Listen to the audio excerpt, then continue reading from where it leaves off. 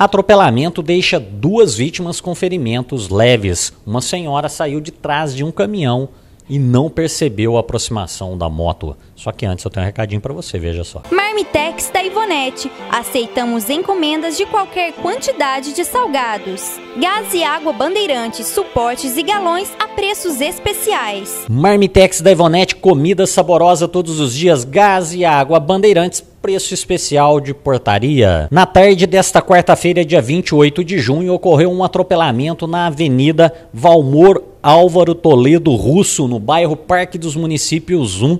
Segundo a condutora da motocicleta, ela seguia pela avenida e havia um caminhão estacionado no canteiro central.